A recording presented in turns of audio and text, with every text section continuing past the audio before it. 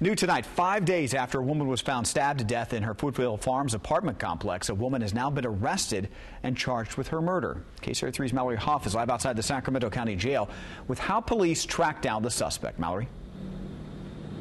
Yeah, good evening. The 42 year old suspect is now in custody here. We attempted to speak with her today. However, we were told she is currently under psychiatric evaluation and was unable to meet our request. However, we did speak with the victim's neighbors. She was very welcome. She, I know that. She was really nice to everyone since she had just moved here. Jessica Brock had only recently moved into the Emerald Oaks apartments when investigators say she was stabbed to death by an acquaintance. We don't know whether or not, um, you know, the suspect in this case may have had some connection to that complex and may have befriended her, or if they had met someplace else.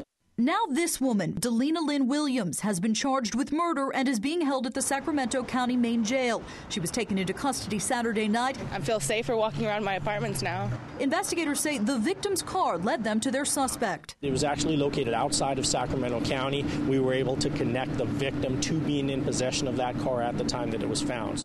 Sheriff's deputies believe Brock was killed days before family members discovered her body when they went to check on her last Wednesday. According to deputies, she suffered multiple stab wounds. And it's not in connection with uh, any kind of robbery or, or anything else. Uh, just, a, again, a fight, some kind of conflict or argument between the two that, that went terribly wrong. They are still working to determine what the two discussed. And tonight, investigators tell us they don't know what Williams was doing in the days following the victim's death. If you have any information, you are asked to call Sacramento County Sheriff's Department. For now, live in Sacramento, Mallory Hoff, KCRA 3 reports. Mallory, thank you.